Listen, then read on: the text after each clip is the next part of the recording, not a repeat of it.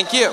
So tonight, our theme is celebration. We're gonna celebrate a lot of things, but we're not gonna do it alone from here. We wanna get to know you, so before we start the program, we're gonna come give you high fives. You guys, we're gonna play a song. You guys wanna dance? Give us high fives. We're gonna be right among you. Okay. All right? Do it. Ready to begin? Uh, so tonight's theme, like I said, is celebration. We wanna celebrate the life of Sonia Shah. She's a very, very special girl, and uh, gives us gives me a great honor to just even be here. So we're gonna uh, celebrate that. We're gonna celebrate progress that Sonia Shah Foundation made, right? So great. So the other thing is, it's not um, that celebration. We're gonna celebrate ordinary people doing extraordinary things.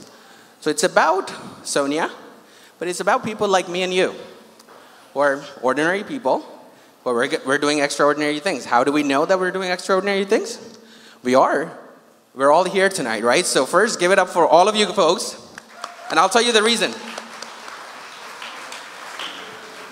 The reason is we're all changing uh, the world, one girl at a time, and that's Sonia Shah Organization's mantra. We are literally changing the lives of the girls in Pakistan. It's a great, great honor uh, to, to do that, uh, and I think the biggest honor is to do it amongst you folks here. So, the overview of the program, what we're gonna do is um, we're gonna talk about the heroic journey of Sonia Shah. And um, when I say heroic, I really mean it. And I'll tell you from my experience, whatever I've been able to achieve in life, it's because of education. So I really get the value of education. The people that you meet while you're acquiring education, all of that is, is very, very important in life. So Sonia understood that at a very young age. And um, we're gonna hear a lot about her journey.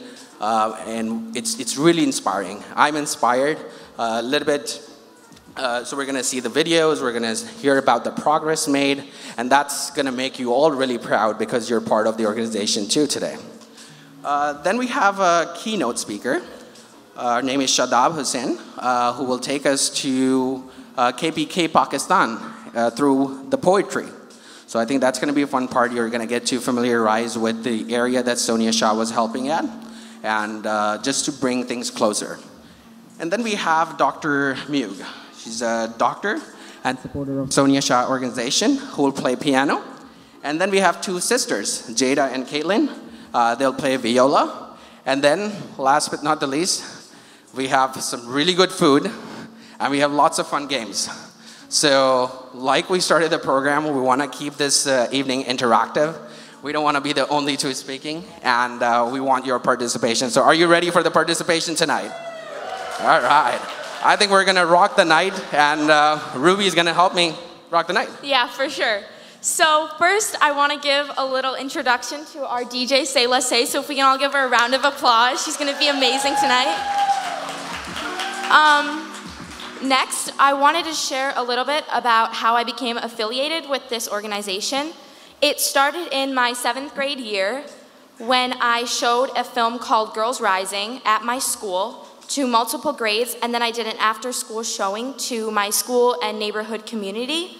And from that showing, I raised um, a certain amount of money that I was able to donate to this organization after hearing Iram on NPR. And she basically wrote my mom and I back, and I was invited to speak at last year's benefit at the MCA. And I shared with them my project and the amount of money I had raised. And since then, my mom and I both have become really strong supporters of this organization. We've helped plan this event, we've helped make decisions that impact the school in Pakistan. Another example is a couple months ago, I recorded some of Sonia's college application essays to basically make her come to life.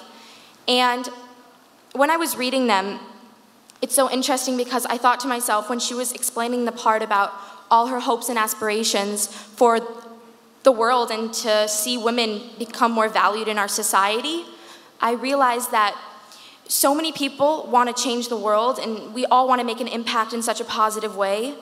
But Sonia was able to articulate her aspirations so well. It, it made me cry. And since then, there's no doubt in my mind that Sonia is still with us here today and that she's a role model for all of us. So, lastly, I want to say that I'm Ruby, but I'm also Sonia. Gibran is Gibran, but he's also Sonia. You're all you, but you're also Sonia. And that means that we all have the power to make an impact on this world, and we all have the power to make sure that women are more valued in our developing society. So, thank you. Very well said, Ruby. Awesome. So, uh, like Ruby, I'm I'm a very very inspired member of Sonia Shah organization as well, and I've I think one thing that I can say is that I've seen this organization from the start. I, I was one of the lucky ones to see the journey. And we've had our ups, we've had our downs, but like they say, you know, no matter how many times you fall, what matters is how you get up and keep going. So that's what Sonia Shah organization teaches me, how we've been able to rebound. And uh, look, we're celebrating tonight. So um, with that, I will uh, introduce uh, a very, very special guest. Uh, she is a board member uh, of the organization. So a little bit about her. Uh, she's a scientist, she's a lecturer, she's a philanthropist. She's got her master's in uh, management from London School of Economics. she's got two masters, one in immun immunology and molecular genetics. She also has a PhD in hematology and oncology from Rush University. Um, so if you have a guest, I'll give you one more hint. She's the director of Urdu Institute of Chicago.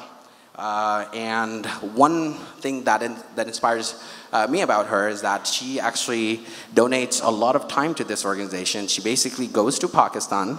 She takes a lot of guests uh, and when I say guests, a lot of influential personalities in Pakistan, because her school is in a very remote area, so you need all kinds of community support um, to run that school. So she's the one who goes um, and introduces uh, the guests in that uh, community, and that's, that's how we're able to run that school. And, and the best part about it is she does it on her own dime. So without further ado, let's introduce Dr. Syra Alvi. Thank you so much, Gibran. I don't think I deserve this kind of applaud, but it's nice to have it.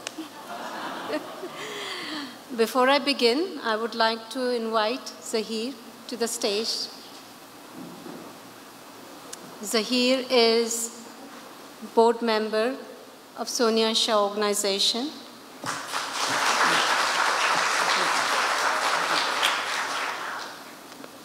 So there's a, when I was thinking about this evening, I had recently seen this stanza being used and I thought I'll complete it. वजूद जन से है तस्वीर कायनात में रंग उसी के साज से है ज़िंदगी का सोज़े दर, दर, दरसाज So, you know, that kind of summarizes the women and the struggle that we have here. Salam, good evening to all of you. A girl, a dream, a mission. That's what Sonia Shah stands for. On behalf of Sonia Shah organization, members of the board, children and parents of the school, I would like to thank you for being here with us this evening. Zahir, Greg Mortenson, and myself are on the board of directors. And we all come from different walks of life. But I should uh, say this that this school and this organization brought us together. We all believe educating, engaging, and empowering girls. Zahir has an extensive bio on the website I can't even begin to talk about his accomplishments. But briefly, Zahir was born in Uganda. He's uh, lived in Canada, studied in Canada, and is now in US. he is the director of ZL Advisory. He spent most of his professional career with the Abbott Laboratories, worked in more than 150 countries, and retired as a vice president for international marketing. Zahir Lavji. Thank you very much. Thank you.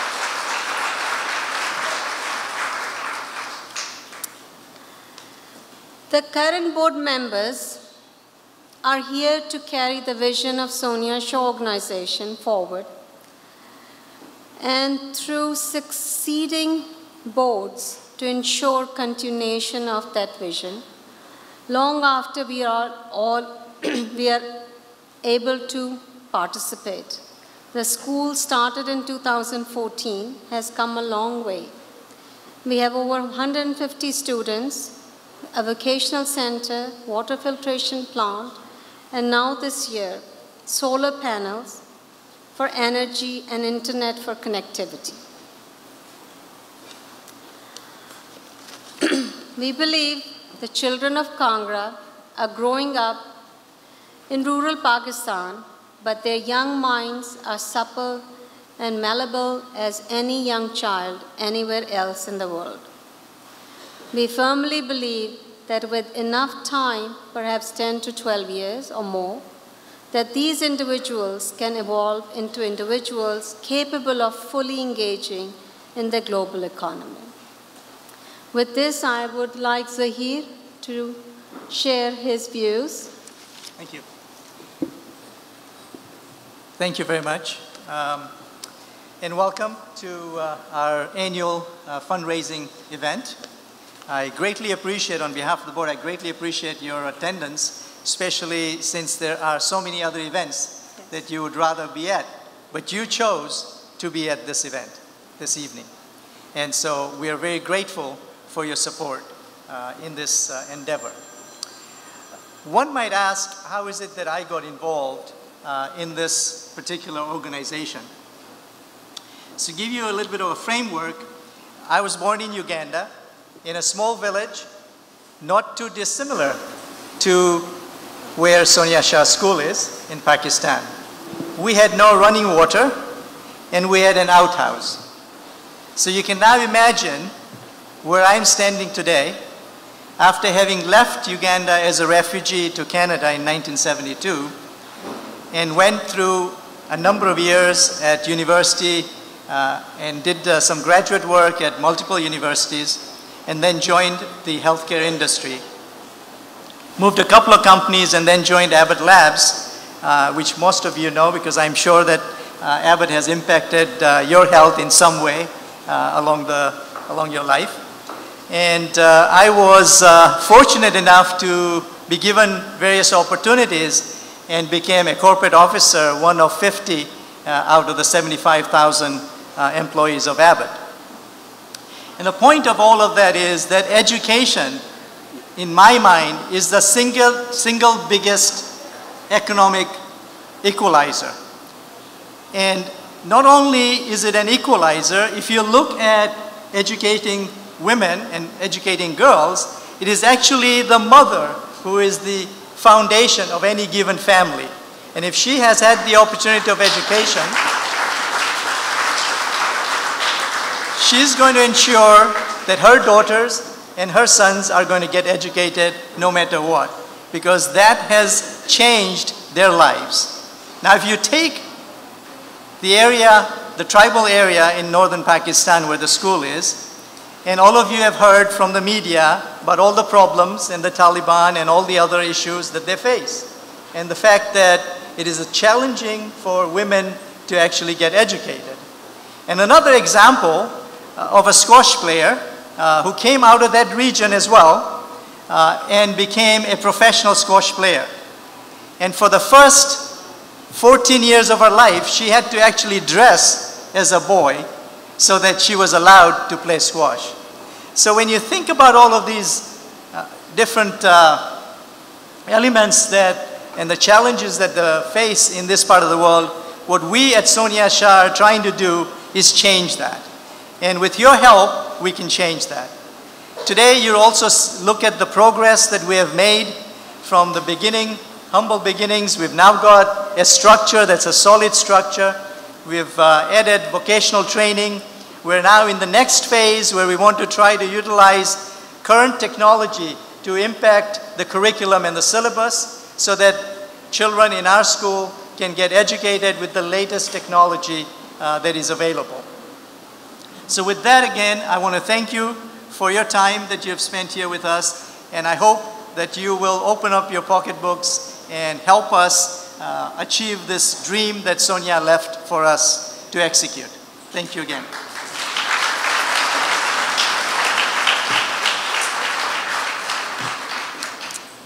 And now it's my honor to introduce you to the person behind this mission, a dear friend of Zahir and mine.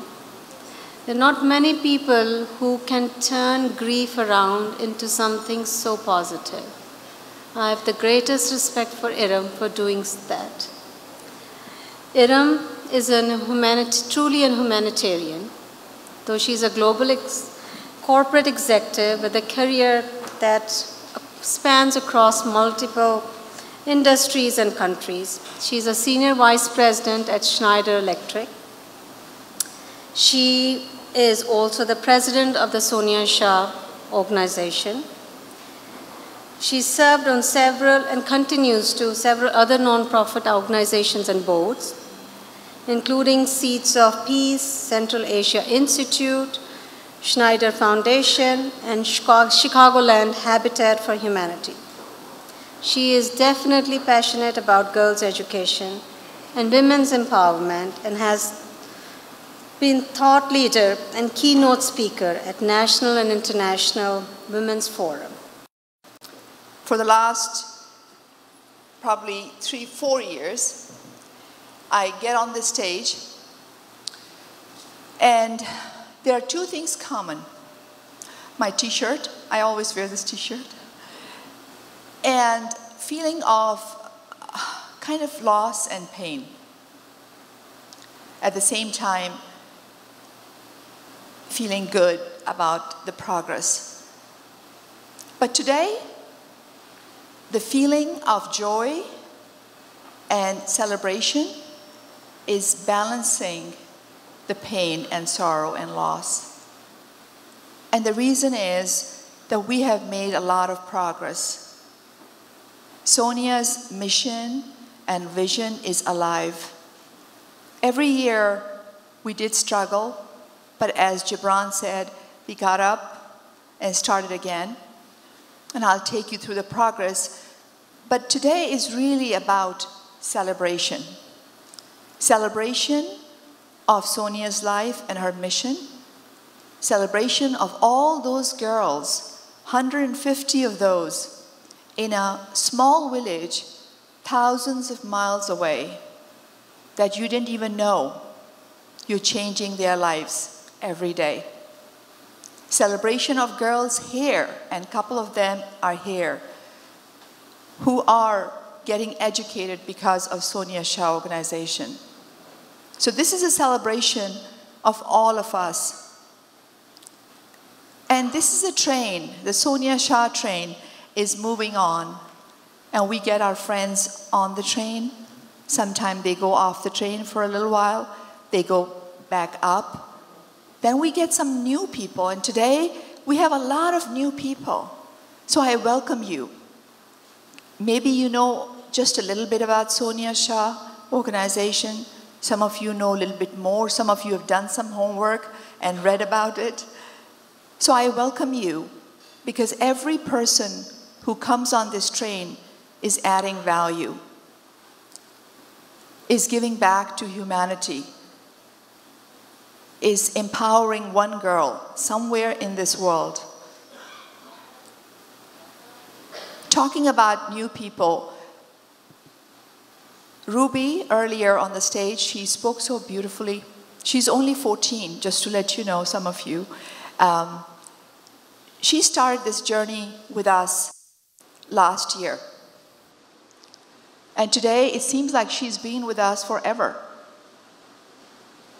And her mother, Monica, this would not have happened without her. Where is she? Monica, you gotta stand up, stand up.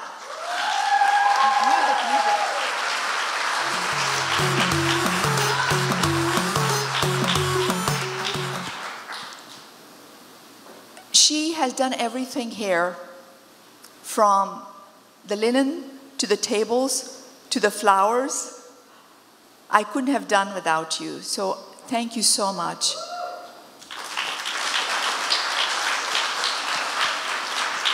And she, Ruby, and Imani sat down with me last night, and we bagged like 400, no, 160 cookies, and they are in front of you.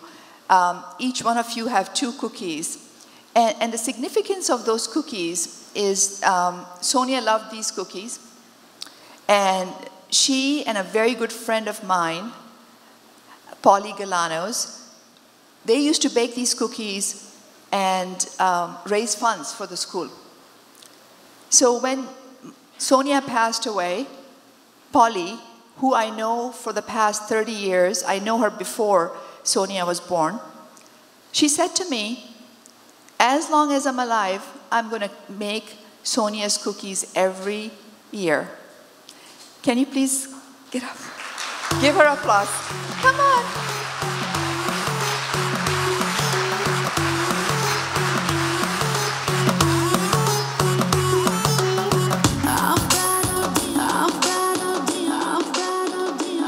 So thank you, Polly. I love you. I love everyone who has touched Sonia Shah organization, even once. Um, and tonight is about celebration, but also I want to make sure that you go away from this evening knowing the progress we have made.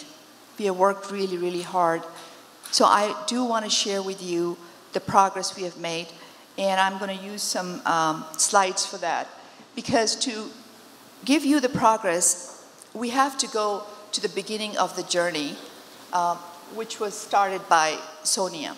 As you know, 17 year old, she decided to go back to where her roots were a village, a small village in the northwest of Pakistan. Quite primitive village, and I'll talk about a little bit to give you kind of context. But she decided that she wanted to make a difference she was studying in an in international school in Switzerland. I was based there with my job. And she decided that she wanted to go back to that village, live there to understand the need of the girls there. And it shows in, in her college essay. I don't know if you guys can read it from there. I, I'll quickly read. It says, My heroes have always been the brilliant, flawed people who have acted, who have changed our history, and made our world. Now I want to join them instead of only watching them. I want to serve and, and help others while pursuing my passions and interests. I want to leave this world knowing that I've changed it in some quantifiable, positive way, no matter how minuscule. I want to make history instead of just witnessing it.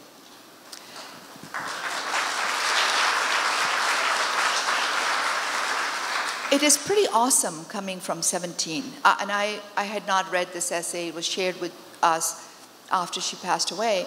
And, and the college said to me is that we normally get a lot of um, big essays about people talking about themselves, saying they speak, you know, Sonia spoke five languages, she worked with a couple of congressmen. She never mentioned that in any of her college essays. The only thing she mentioned was that she wanted to make a difference, which was very impressive for this college. The other thing that she wanted to really impact because she wanted to make a difference is through girls' education. That was her route to make a difference in this world.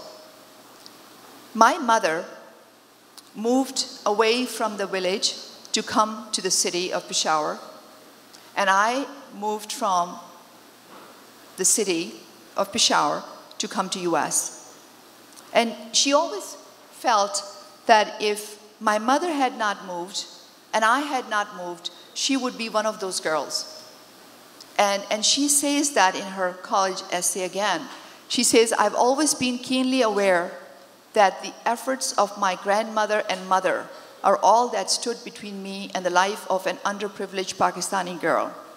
It is only through the work of the women that came before me that I don't live in ignorance and isolation. And every girl deserves the chance to create similar change for herself and for those around her. So, this is the context around a 17 year old girl who kind of um, forced me to take some of my retirement money. She was in the village and she called me and said, and so Sonia was someone who never asked for a lot. She loved music and books. And I would punish her by taking the books away because that was the only way she would listen. So, and so when she asked me for $20,000, I said, Are you kidding me? And she said, I need 20,000 because there's a land in the middle of the village that is for sale, and I want to buy that because I have interviewed parents, and part of the reason why they don't want their daughters to go to school is they don't want their daughters to go out of the village, and they want to go to the nearby school. And I want to buy that land. And interestingly, I ended up doing that. I don't know why. Everybody thought I was crazy, but we did it.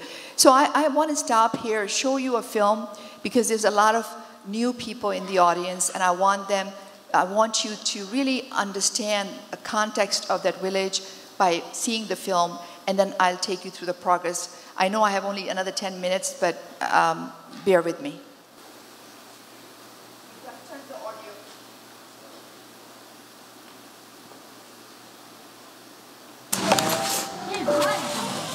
Dapat ibaliwaju.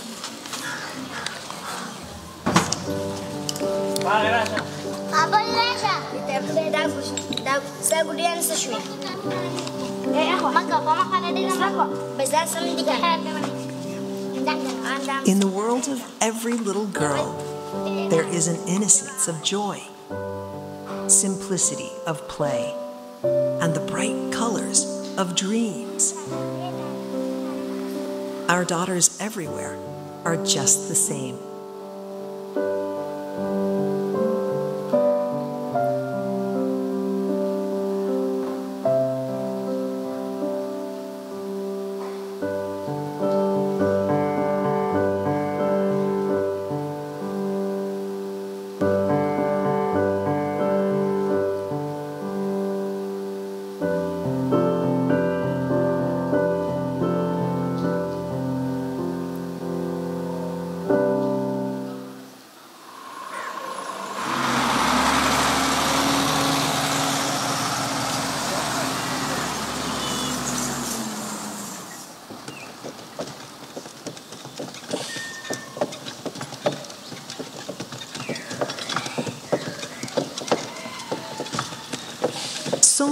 Belonged to Kangra, a small village in Khyber Pakhtunkhwa, Pakistan. Her ancestors left many years ago to give their children, particularly their daughters, a better life. A life with good education and equal opportunities. A wish that still remains unfulfilled for the people of this village after all these years. In Kangra, only three out of ten girls attend primary schools, where the quality of education is dismal. No girl has access to secondary education or beyond.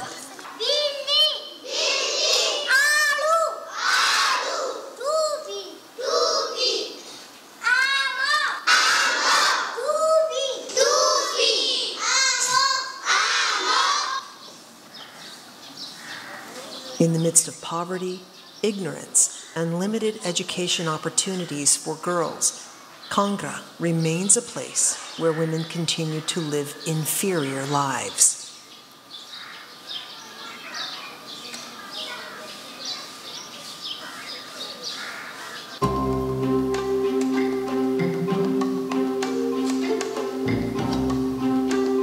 Sonia, who was living a life with opportunities, wished the same for all underprivileged girls around the world. Her wish to educate and empower girls became a mission.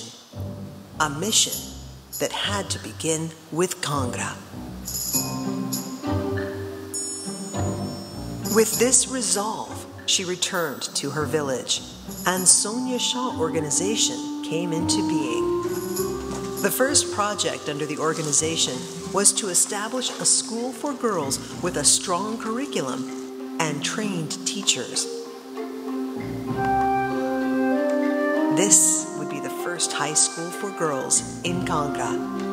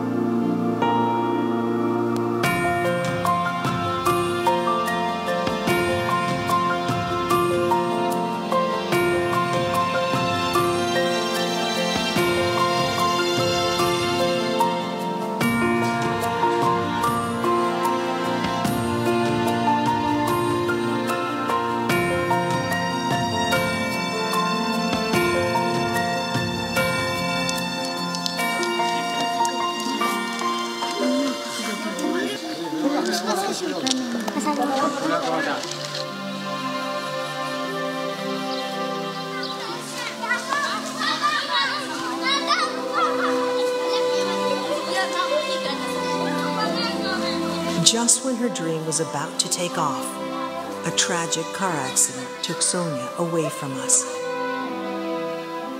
But her mission continues.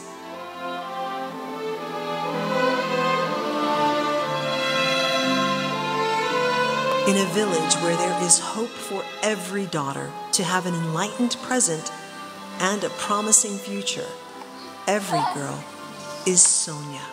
زمانم علیا دی زخم سونی آی زمانم سایا دی زخم سونی زمانم مریم دی زخم سونی زمانم مانور دی زخم سونی آی زمانم شازما دی او امنا دی زخم سونی آی زمانم مریم دی زخم سونی آی زمانم نوم دی زخم سونی آی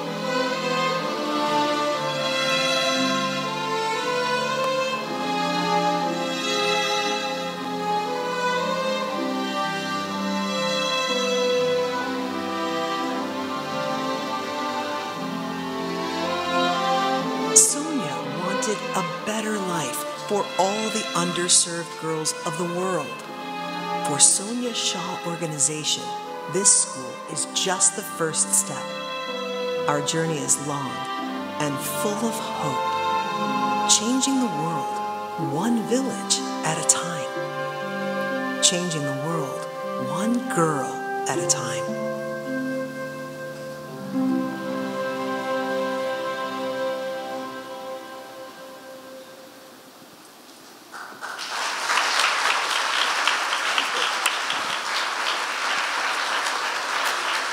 You.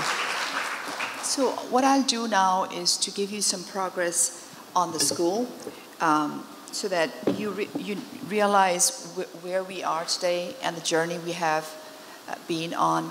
We have made a lot of progress, and that's why today is a celebration.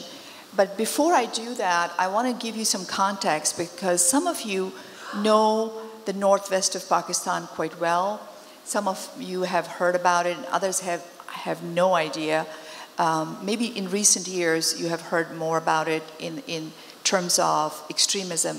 Uh, but northwest of Pakistan is on the northwest of Pakistan, and it is um, now called Pakhtunkhwa.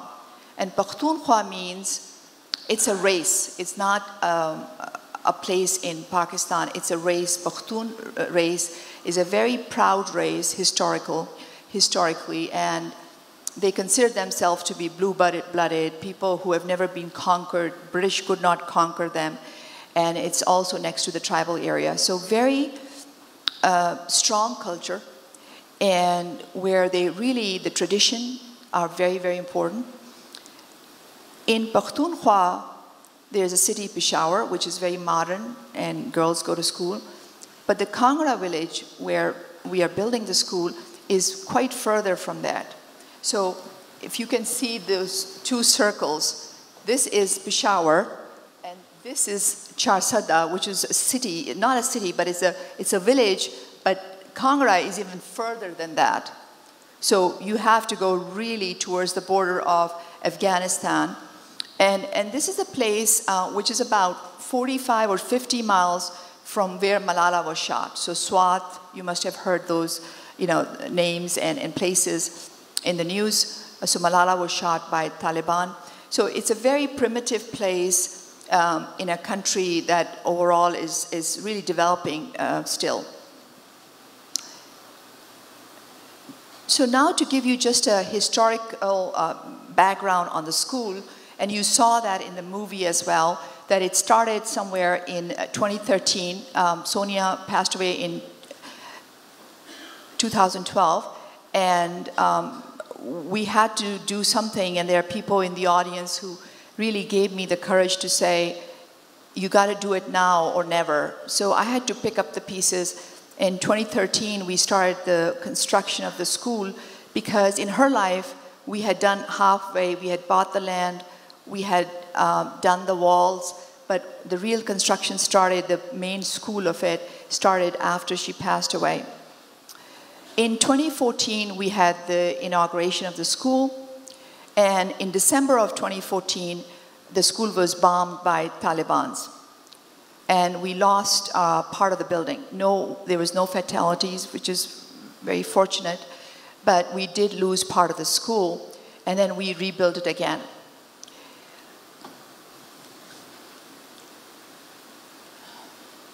Just to show you how it looks now, um, this building is now one of the best buildings in, um, in the village.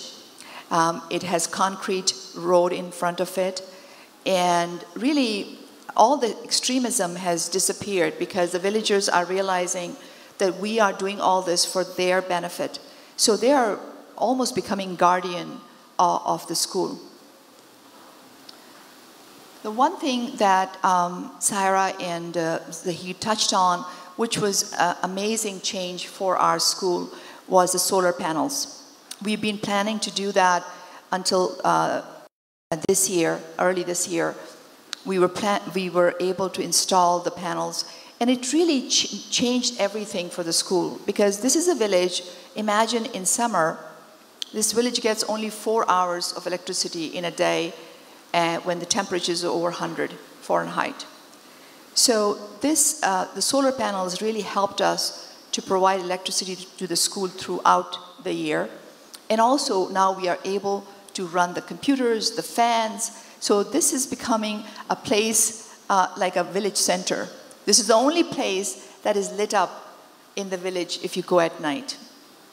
And children come and play and they study by the lights. We have street lights. There are no street lights in this village. There are no roads there are no road names, they're just streets, um, backyards. And this has become uh, Sonia Shah Road by default because the school is there. The other thing we did, which was um, destroyed in the first attack, and there are some donors here who helped us do that, is a water filtration plant, which you know gave clean drinking water to the villagers and once we had the solar panels, now we can provide water throughout the day. Because when the electricity would go down, the machine would not work, the filtration would not work. But now, because of the solar panels, we are able to give clean drinking water to the villagers uh, throughout the summer and throughout you know, the day. And in summer, what we did was we connected the filtration plant with the coolers, water coolers. So they got cold water throughout the month of Ramadan and also throughout summer. One other thing that we did, which is very important, and most of the schools, um, I have not seen any school who gives uniform to their students in Pakistan. We took the step to say we have to give uniform to these children because most of these children don't have a decent pair of clothes. They used to come to school without shoes. So when we gave them the uniform, you cannot imagine the happiness on their face. They could not stop smiling because it was more than uniform. It gave them the identity that they didn't have before. And they, our registration went up from, uh, I think we were at 70, now we are at 130 because the students were so excited to have clothes, the shoes, the belt uh, that they come in. And I wanted to show you some pictures before and after, um, which some, sometimes they're not even recognizable. Look at the second picture. I mean, I couldn't believe that this is the boy who was before and after. And they're feeling also very different than where they were before.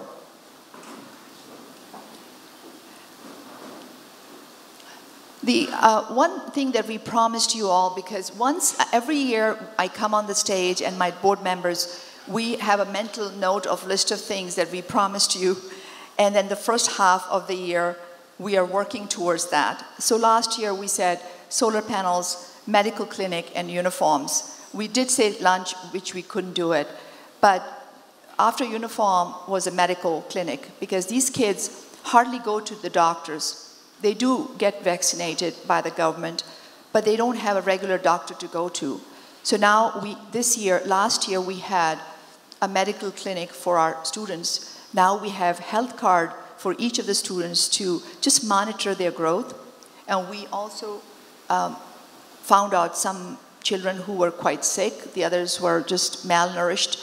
We have vitamins that we gave them in school. We don't let them take home because we're not sure how they're going to take the vitamins or who will take it instead of them. And sometimes they will, might give it to the boys, but not to the girls. Uh, so we want to make sure that in the school, after assembly in the morning, that the teachers give them the, the vitamins before they start the school. Oh, sorry, I'm a little quick. Um, the vocational center was something that was important to the villagers from the day one because they all want to be economically self uh, sufficient and they want to support themselves. And there are a lot of talented women in the village, but they had no place to go and get training. So we started our vocational center a couple of years ago. And the first day we started, there were 40 women standing at the door because they wanted to come and learn. And now we have over 100 women who have been trained through our vocational center, and they are selling the clothes they are making embroidery, crochet, uh, other you know, skills that they have. And when I went there last year, they were so excited. And they were telling me the prices that they were selling those clothes. And they were very honest. They would say, I make this for only 200 and I sell it for 1500. So I'm willing to give you some money to train me more. And now what we are thinking is that how can we bring their work, which is beautiful. I mean, it's the work that all of us can wear and carry on our bags. So our plan is that how we can take their work and sell it online. Because that village is so poor that there are, there's no market, there's not enough market for the skill and talent these women have. So we're thinking about how can we make this happen for them so that to elevate not just women but the entire village with them.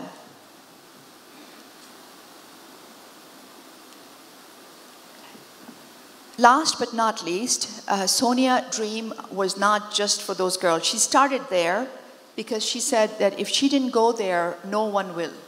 So she did that. But she wanted all the girls in US, any country, to be empowered and educated. So we promised you in 2015 that we're going to start a scholarship program for girls here in US, regardless of their background, ethnicity, who really deserve to go to college, but they cannot afford to go to college for a number of reasons. And we started this program, and our first recipient will be graduating uh, next year.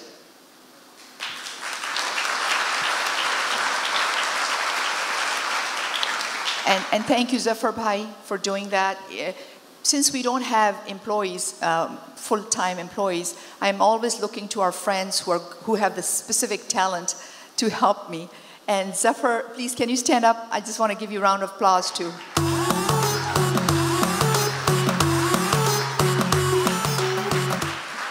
Um, he is um, a friend who I'll never forget after my daughter passed. And I have repeated this story so many times, and I'll keep repeating until it feels boring to me, and I'll do it until it doesn't. Um, he said to me, There's something special here, Iram.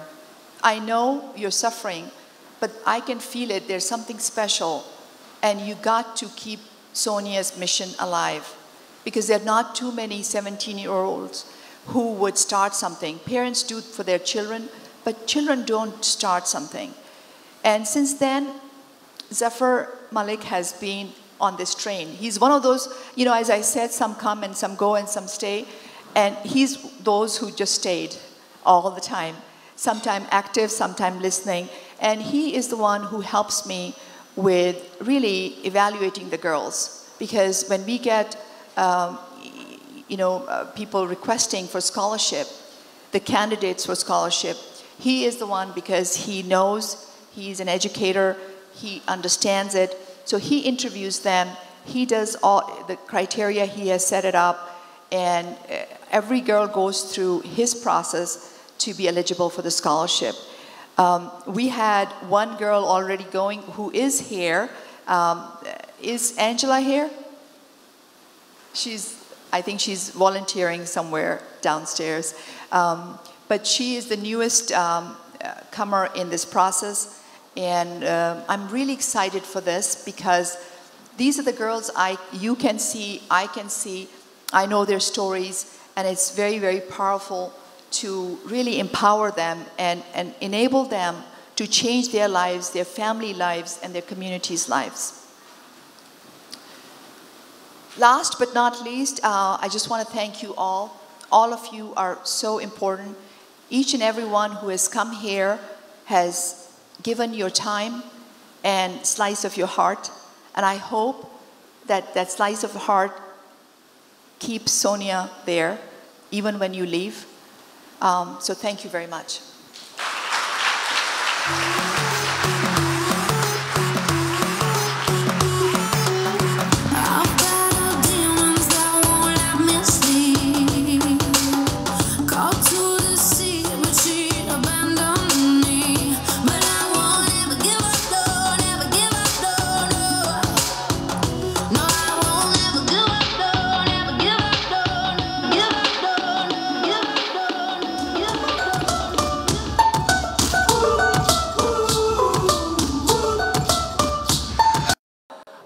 I do have some shout outs. So you probably uh, saw Sonia's essay, a little bit of it, and she mentioned her grandmother. And her grandmother is sitting amongst us, so I want to give her a huge round of applause to Auntie Kulsum. And if you know her, she's just like an angel, and you have to meet her before you leave. Uh, one more big shout out. You saw Iram uh, speak and talk about Sonia Shah organization. Um, Sonia Shah's dad, Mr. Shah, is amongst us, and, and he's been a great, great support for Iram, uh, enabling her to do everything that she has done for the organization. So, Shah, I know he's still standing, he's not even sitting. You probably see him taking care of the babies. So, Shah, ladies and gentlemen, Mr. Shah, father of Sonia Shah. And one thing I just realized uh, as I'm looking, uh, every seat when I was back there, people were looking for seats. So we have a sold out event. So give yourself an applause because we have a really sold out event. And then, you know, one thing I want to mention, this, uh, this gives a great testament to, uh, it, it, to the goodwill of Sonia Shah organization that, you know, on a short notice, we have a full house here. So thank you very much for being here. All right, so let's play uh, some Jeopardy. So Ruby is gonna ask, give you a hint of a personality, and you have to guess who that is. Okay, so this one's kind of an easy one, but she's a really good female role model that we all know. So she was the first deaf and blind person to earn a college degree where she graduated at Radcliffe College with honors. Does anyone know who this is? All right, I see a hand there. Yeah. Uh, Helen Keller, yeah. All right, great work. All right, so the second one.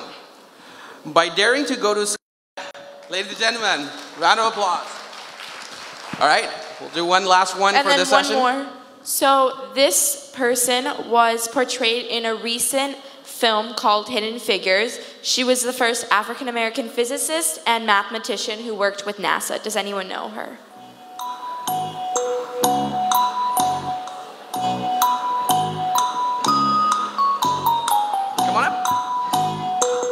Katherine Johnson. All right, stand up. Great answer. Okay, so uh, the next guest I'm going to invite, uh, very, very special guest.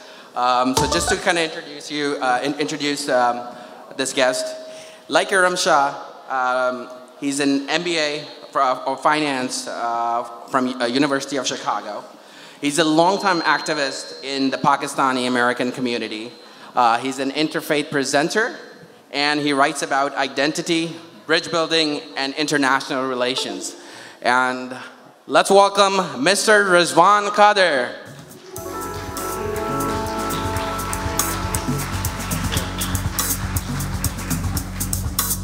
Good evening. Good evening. Assalamu alaikum. Sat. Namaste and Assalamu alaikum, everyone. It's a great honor for me to introduce a prolific writer and an accomplished poet, our keynote speaker tonight, Shadab Zeest Hashmi, to the Sonia Shah family of friends and supporters. Shadab's first book of poems, Baker of Tarifa, traces the history of interfaith collaboration featuring historical and imaginary figures in Andalus, the Muslim Spain, a 750 year era when the three monotheistic faiths created an exemplary civilization. The book won the 2011 San Diego Book Award for Poetry. She grew up in the historic city of Peshawar, and I'm talking quite a bit about it, in the KPK province of Pakistan, uh, not far from Kangra, where the Sonia Shah School is located. Shadab's second book of poems, Coal and Chalk, delves into the identity issues as she exhibits a deeper appreciation of Peshawar's vast global history, coupled with her own experiences and observations in the aftermath of the war in Afghanistan and the post 9 11 conflicts. It is in that post 9 11 conflict era that uh, the challenging time when she and her husband raised a family in San Diego, a place that she calls home now in her adopted country. Tonight, tonight when she reads from Passing Through Peshawar, you will notice her nostalgia about the mythical place. Similarly, the border poems in her second book, Coal and Chalk, reflect the emerging realities of geopolitical tensions. She will also read for us tonight Ghazal for the girl in the photo. The girl being a young Afghan woman, the photo being the most famous cover of National Geographic magazine ever. Shada will also read for us tonight from uh, her. Um, we enjoyed the music. We really enjoyed. The music, music that was played entertained people from three different generations, at least for the last three decades. But when she reads poetry, we need a little bit of your attention because is, these are complex issues and the poetry is intense. So we would like to, to indulge your, uh, your attention at the time. Shadab is a great expositor of the ghazal genre in the English language. She's a prolific writer for Three Quarks Daily, an internationally acclaimed online magazine for intellectuals. She will read her article titled Ghost of a Frontier Town. She sometimes uses her middle name Zeest as a pseudonym for her poems. It's a Farsi and Urdu word. It means life and connotates celebration. How apt for our theme tonight of celebration and life. So, in a few words, you got a glimpse of Peshawar's place in history, Shadab's poetic tributes to it, but the point of it all is how a young girl from Deerfield, Illinois, started a school for girls in a village near Peshawar. An organizational point, Shadab, as some of you noticed, also did book signing at the beginning of the event. She will continue to do book signing towards the end, and all proceeds, 100% of the proceeds from the sales of the books will go to the Sonia Shah organization. Now, a little personal note about Sonia. I had the great pleasure of knowing this brilliant young woman who knew her role in a very complex world. She had a cosmopolitan upbringing, but also a strong sense of her roots. Then I learned of the unimaginable tragedy. Cried like a baby. A life cut short of its immense potential. The onus of the fulfillment of that potential is on us. And let's not make any mistake, that is our great honor. Ladies and gentlemen, please welcome Shadab Zeest Hashmi.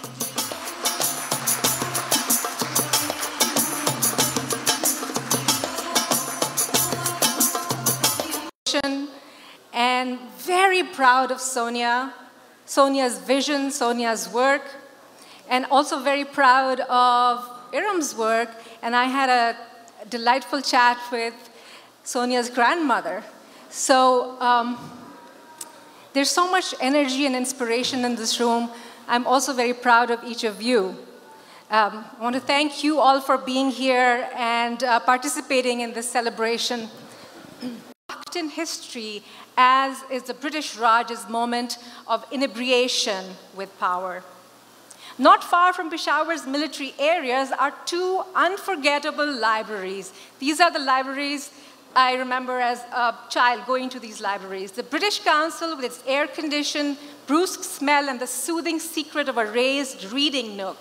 An ant chamber with round cane stools for children, and the Peshawar Club Library, where there sits on the shelf a shadow book for every book. Every footfall and turning of the page is heard by ardent colonial ghosts. In the other environment, environs of this ancient city, the ruins, stupas, temples, orchards, caravanserais, graveyards, havelis, universities, and forts, there are ghosts of other inhabitants invading Persians, Greeks, Marathas, Mughals, Sikhs. Peshawar has been the heart of the Gandhara civilization, beloved lotus land for Kushan kings. Peepal Mandi, known for the people Bodhi tree under which Buddha is said to have preached. Very few people know this ancient and very important uh, history of Peshawar. The city receives its formal name from the Mughal Emperor Akbar in the 16th century.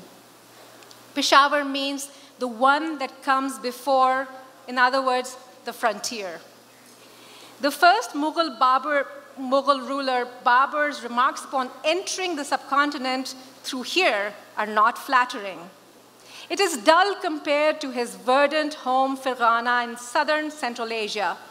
The Mughal emperors fill it with gardens, dubbing Peshawar the city of flowers, and leave, among other treasures, a beautiful 17th century mosque.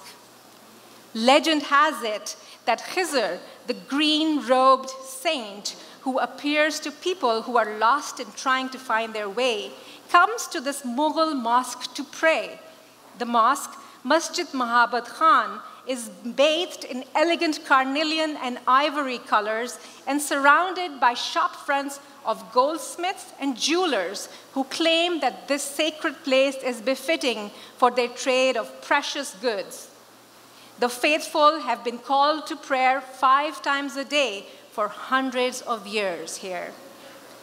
There is an ancient highway built by the Afghan Emperor Sher Shah Suri, extending from Kabul to Delhi, an engineering feat of the 16th century, renovated and renamed the Grand Trunk Road by the British.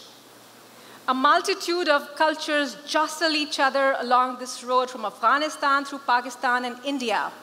Muslim, Sikh, Christian, Hindu, Parsi, Buddhist, and others. In Peshawar, part of this road is still named Jamrud Road, and a footbridge over it is a thoroughfare for students walking to and from a complex of colleges in the area. If you're from Peshawar, you know this place really well. Part of it is tree lined, part arid. The Safed Koh Mountains visible in the distance. The city smells of bus fumes and is heartbreakingly resplendent in springtime. There are richly fragrant apricots and melons. The elderly men and women are thought precious and give and receive a kind of reverence that sweetens the air. The Sikh fort, Mughal marketplace, British clock tower, modern hotels, and shopping plazas, cinemas, stadiums are astir with life. Since the time of the Soviet war, I have seen these places in the aftermath of bomb blasts. I have seen the insult of human flesh exploding into lifeless ribbons hanging from lampposts. I have heard children and birds shrieking in panic.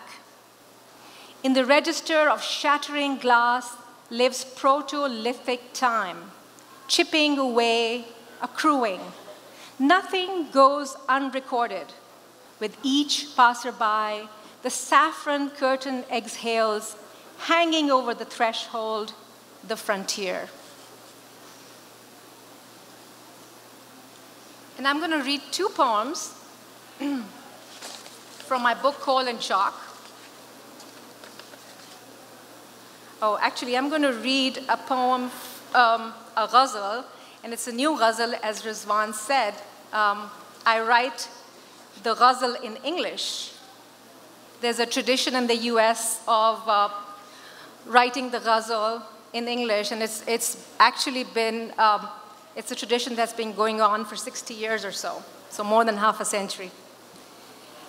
This ghazal is called Ghazal for the Girl in the Photo, and as Rizwan said, this is addressed to Sharbat Gula, the little girl, um, and everybody knows this uh, face. Uh, it became iconic. It's an iconic face of, of suffering through war and displacement. And when I was growing up in Peshawar, this little girl, Sharbat Gula, um, was growing up in a refugee camp not far from where I lived. I'm going to read this ghazal in the traditional ghazal style, so you'll hear some repetition, and you'll also hear a refrain. And the refrain in this ghazal is stranger.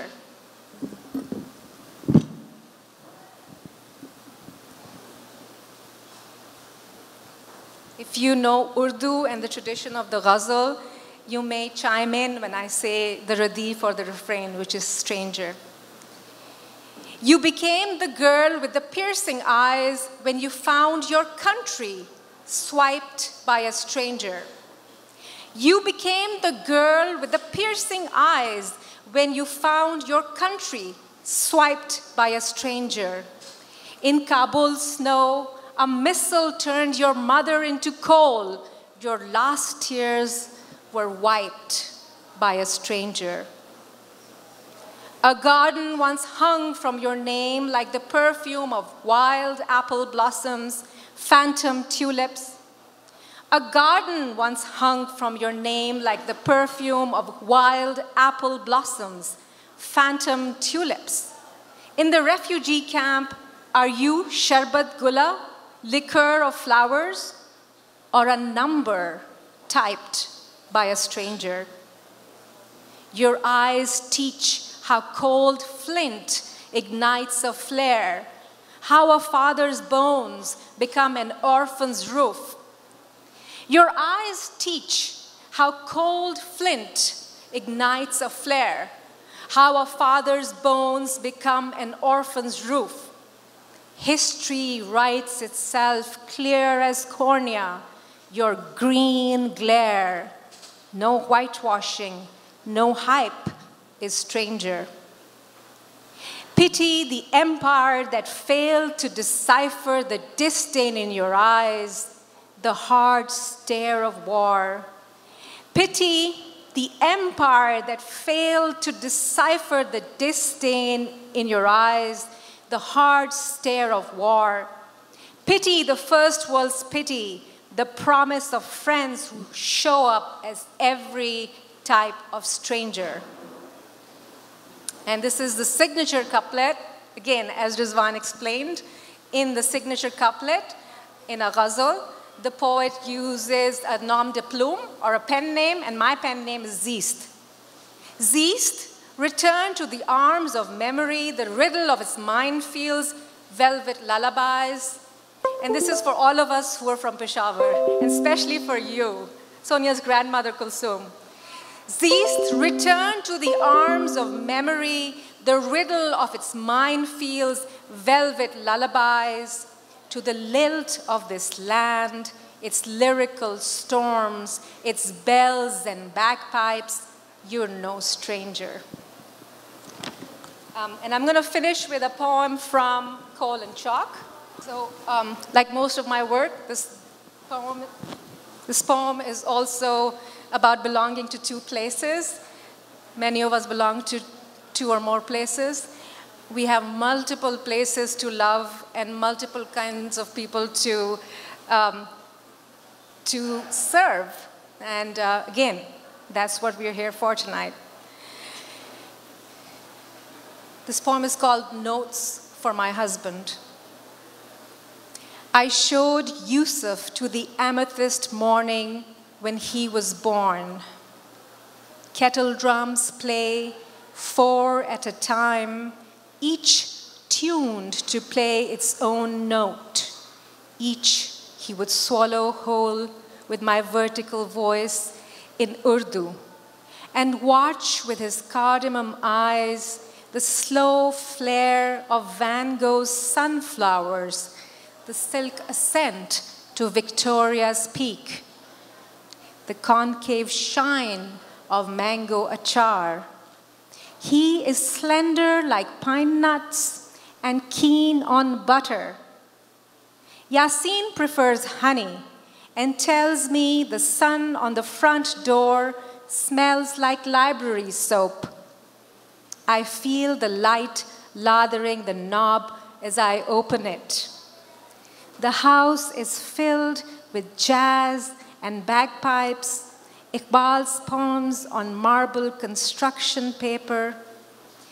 We weep in both languages, and anything round is a planet. Thank you. Thank you.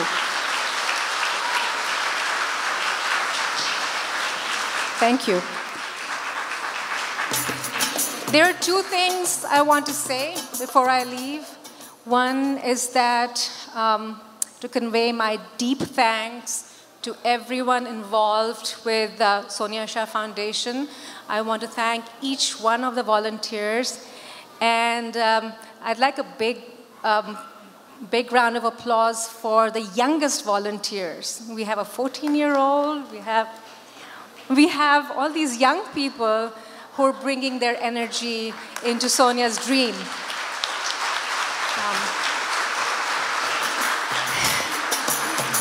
and last but not least, I urge you to donate generously. Generously, generously, generously. This is our world we want to change. These are our children we want to educate. Thank you so much. Thank you. Okay, so next up, we're going to have two extremely young activists that um, incorporated the Sonia Shah organization and some projects that they did independently come up on stage. Sure. So the first one, uh, very, very inspiring story. Um, so the sister, uh, Joanna, heard about Sonia Shah organization, And then she told her brother about the organization. So the brother got so inspired that uh, he made um, a poster for Sonia, for Sonia Shah. And we're going to show that poster and bring on stage the sister, Giovanna, and Gianni is the brother. Come on up.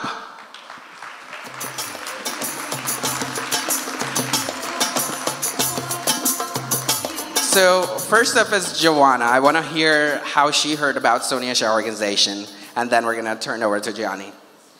Um, so, uh, hi, my name is Giovanna Ghiatti.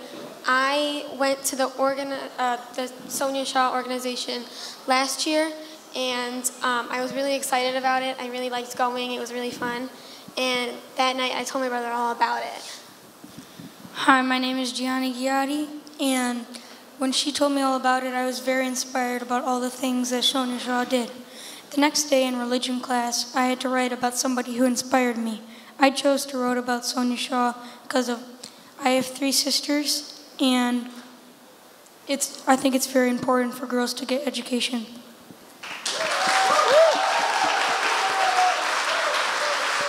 And if you can't see uh, uh, the writing, it says, uh, so, so, so thank you very much. I think this is from Rory. Uh, and we're going to introduce one more guest, uh, Rory. Um, is this from Giovanni? Okay, so Giovanni, do you want to read this for, uh, that's not yours? Okay, so we're going to introduce Rory. A little confusion, but nonetheless, a big round of applause for these young two. All right. Okay, so now we have a um, nine-year-old girl from Evanston in fourth grade who heard about the Sonia Shah organization on WBEZ and felt really upset that girls weren't educated.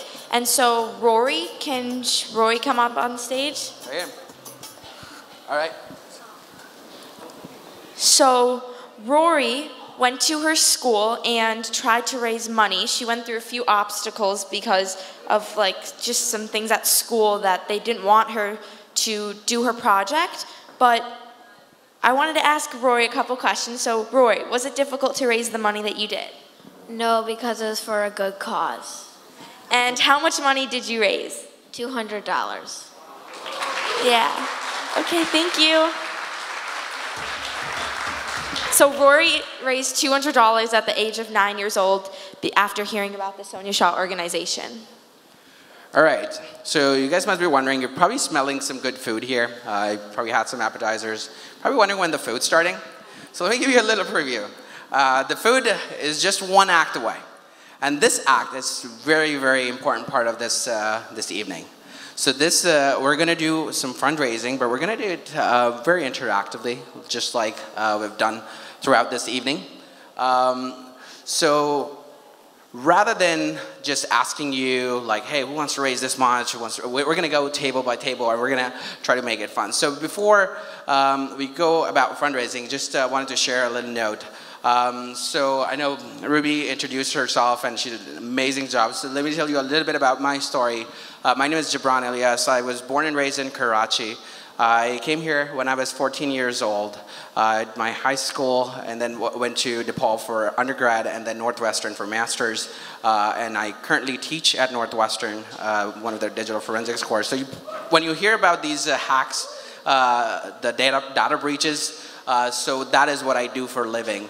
Um, so one, one, one thing that I want to say is that I was able to do this because of quality education. And one thing that me and my wife, who's also sitting in the audience, uh, Samra, uh, when we were coming here, we felt very elated. And we were just wondering like why we're feeling elated. So we just wondered, we're like, why, why is it that, you know, we go to so many parties, we go to so many events, why is this one more, most special? And we, we had read just a couple of days ago that your life begins when you start giving and when you start helping people. So I want to start this fundraiser uh, saying that, hey, we are the fortunate ones and we have the chance to empower these girls back in a town like Kangra, which you saw in the most remote parts of the world. So uh, together, we can make a huge difference. We will all feel so good. When you go home tonight, you will feel very elated, just like uh, we were feeling. Um, so without further ado, let's uh, kind of introduce how we're going to do it. So we're to go, we're to have a little competition between me and Ruby. So, are you ready for a little competition? All right. So, here's a competition. Ruby gets this side of the land, I get this side. All right? And we're going to go table by table, and here's all we're asking $150 you can that is all that that's the cost of educating a girl for a year again $150 that's how much it costs to educate um, a girl for the year. So we're going to see if everybody that who's here tonight can raise at least that much. All right fair enough? All right so we're going to start with uh, the first or actually we'll let ruby you start. Okay, so anyone on this side from any of these tables, can you raise $150 or pledge to give $150? Okay, here. And we have volunteers that are going to go around and collect the right money. so the volunteers um, so which table are you starting from So raise your hand really high. Okay, so we're gonna go by, by this table. First, Rizwan's table. You wanna be the captain of the team, Rizwan? All right. In the next six months. So we wanna see if we can have more hands on table 11 for 150 over the next six months. Okay, Rizwan is nodding. So, okay. All right, so we got three. All right, folks, round of applause for table number 11.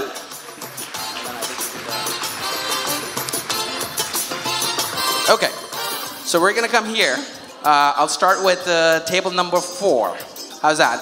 So table number four. How many of you can give $150 tonight? All right, that's a that's a full table. Awesome. Round of applause. Excellent. All right, so table two and table one I'll combine because you guys are incomplete tables. So let's see if you can beat table four here. All right, so again, the question is how many of you can give $150 tonight? All right, that's awesome. We need some music here. There you go. All right. Actually, actually, she's listening something on her headphones. There you go. All right, so I'll turn it back to Ruby. So Ruby, Okay, my guys. side is winning. Okay, so I I'm about that. losing right now. So can anyone else on this side give me $150 or pledge $150? Raise your hand super high. Okay. I think we're going by table by table, so I think we should start here. Oh wait, this table here. Can someone raise What's the hand? number here? Do you have a table number? Okay, number nine. Table number nine. So can anyone from table number nine pledge or donate $150? Okay, three, four. Four. Okay. All right. Okay, so the ones who didn't raise the hands, can you pledge 150 over the next six months? So uh, again, 150 educates a girl for a full year. I see some nods. Okay, so you have pledge cards also, so you can choose to decide whatever in the program. All right, so how many did we get from this table? Four? Five? Okay, four. Okay, give it up for table number nine.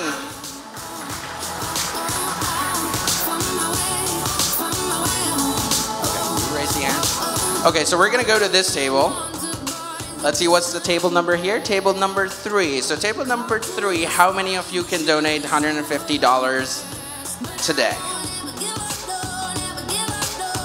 Look at that. The kids are raising their hands. Awesome. All right. And for the rest who didn't raise the hand, $150 over the next six months? All right. We got a full house again. So table number three. Give it up for table number three. Ruby, I'm sorry to tell you, I'm still winning here. Okay, um, what's that table's number? 13. Can anyone from 13 pledge $150 or donate $150? Okay, four. Okay, we have four. Can anyone pledge 150 over the next six months? Okay. Okay. All right. We got almost a full house, right? How many? Seven total? Can, can we all raise the hands for pledging or donating? Okay.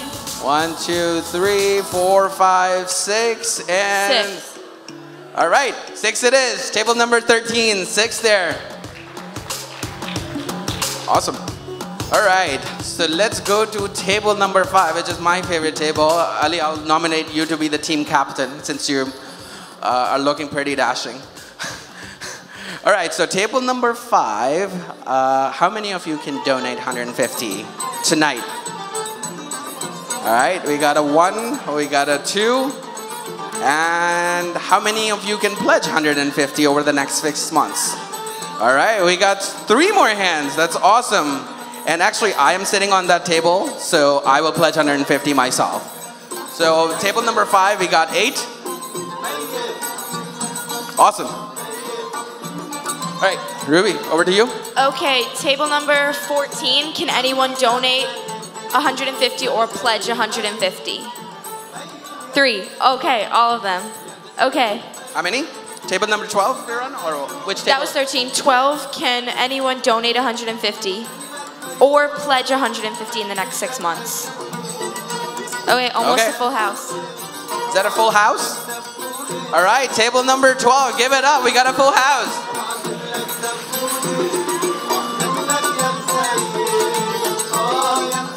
Okay.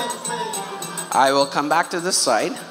So we got table. We got this table. What's that table? Table number six. All right. This is beautiful, folks. This, the view from the stage is amazing. This is for you, Sonia.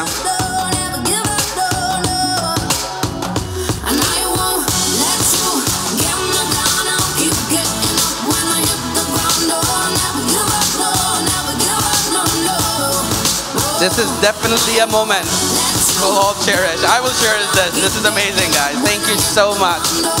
All right, now we need the lights up so we can see who the, who the people are. All right, all the lights up. No, no, no, not the phone lights, those lights. All right.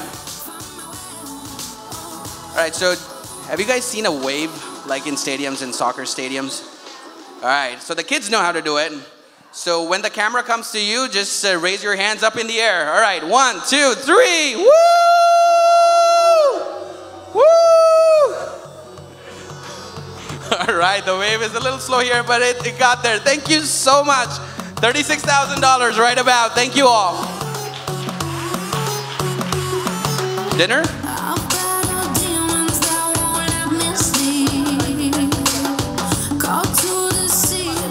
Dinner? All right, uh, so we're gonna open dinner. Uh, and Iram.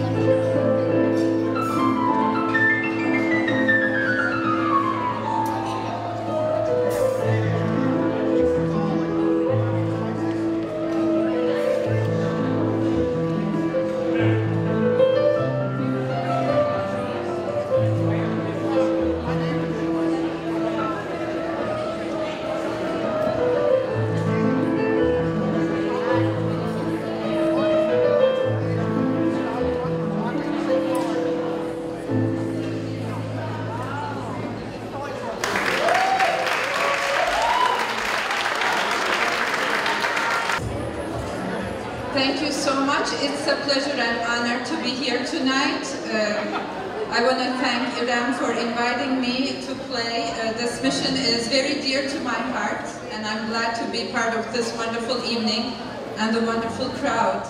Uh, the first piece that I played was from Beethoven für Elise. Beethoven has composed this piece in 1810, but it only got discovered in 1867, only 40 years after Beethoven passed away. So it was discovered by a musicologist, and actually it is dedicated to a mysterious woman whose identity to this date is still unknown. The second piece I want to play tonight is by Mozart. It's Mozart Sonata in A minor, number 8. Mozart composed this piece in 1778. It was this summer. He was in Paris with his mom for a tour. And during this trip, Mozart's mom passed away from an unknown cause. So he composed this uh, piece after he lost his mother. So unlike Mozart's most pieces that are composed in a major tone, which means a happy sound, this one uh, reflects his inner sadness and turmoil after he lost his mother, so it's in a minor tone. I'm going to perform the fast uh, movement, uh, the first movement. And then lastly, I will uh, perform um, Claude Debussy, Arabesque number one. Uh, Debussy composed this about 100 years after Mozart composed the sonata, so in 1888. And it was, he composed this when he was in his early 20s, early on in his career. Debussy is a pioneer in Impressionism, uh, in music. So uh, imagine an Impressionist painting where we see the thick brush strokes and then the colors intermingle with one another. And there is light reflecting on the objects of the image. So Debussy is creating the music as an impressionist composer. So when you listen to the music, you're going to hear the movements of the arms and the fingers creating the colors of music. So you have to think about colors and shapes. So thank you so much for having me.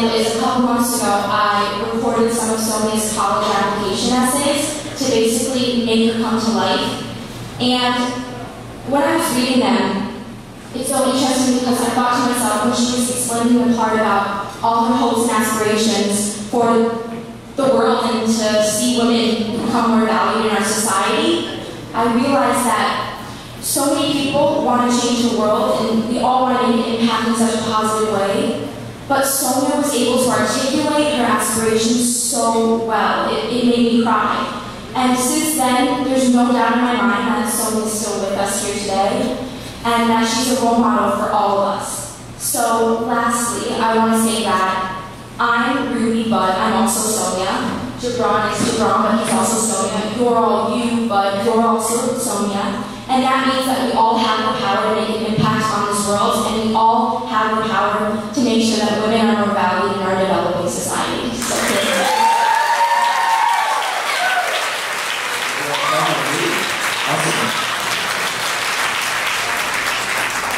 So, um, like Ruby, I'm, I'm a very, very inspired member of Sonia Shah Organization as well. And I've, I think one thing that I can say is that I've seen this organization from the start. Uh, I was one of the lucky ones to see the journey um, we've had our ups, we've had our downs, but like they say, no matter how many times we have a full house here. So thank you very much for being here. Alright, so let's play uh, some Jeopardy. So Ruby is going to ask, give you a hint of a personality, and you have to guess what that is. Okay, so this one's kind of an easy one, but she's a really good female role model that we all know. So she was the first deaf and blind person to earn a college degree where she graduated at Radcliffe College with honors. Does anyone know who this is? Alright, I can see a hand there. Yeah. Helen Keller, yeah. Alright. Alright, so the second one. By daring to go to school as a young teen, she defied the Taliban and their violent and became a global icon. This is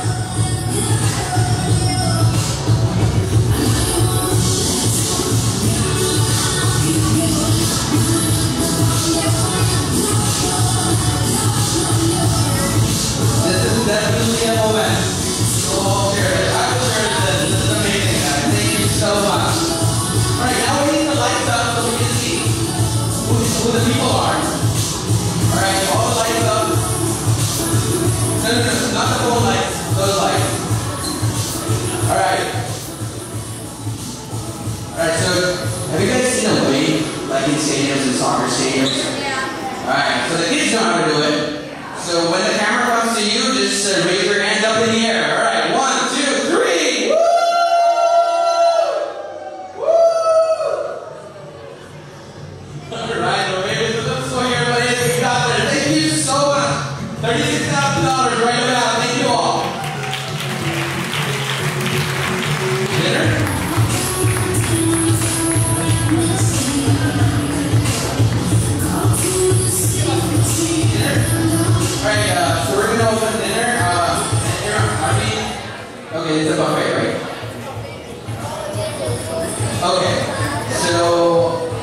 start calling the table numbers. So table number two, four, and one, you guys can proceed. And from that side,